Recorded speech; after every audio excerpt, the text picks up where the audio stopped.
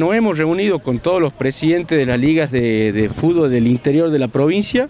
Ellos iban por un tema específico a tratar, que era ampliar el, cupo de, los espectadores a, los partidos de fútbol. Y como la reunión se hizo en la, en la mañana de hoy, justo hoy salió también un decreto a nivel nacional en donde está ampliando eh, la cantidad de, de espectadores, eh, sobre todo en los, partidos de fútbol, eh, se acordó de, esperar a ver qué determinación va a tomar el gobernador al respecto.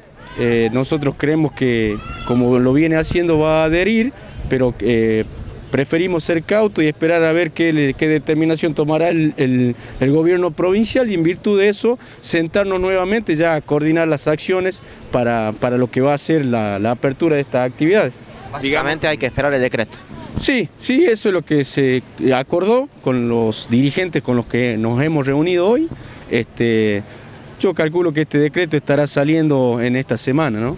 Digamos que no le cierran los números, principalmente con menos gente, ¿no? Hasta el momento. Eso era lo que ellos planteaban. Eh, actualmente existe un decreto en donde eh, este, las actividades al aire libre tanto recreativa como deportiva y de otra índole, eh, están permitidas hasta 100 personas.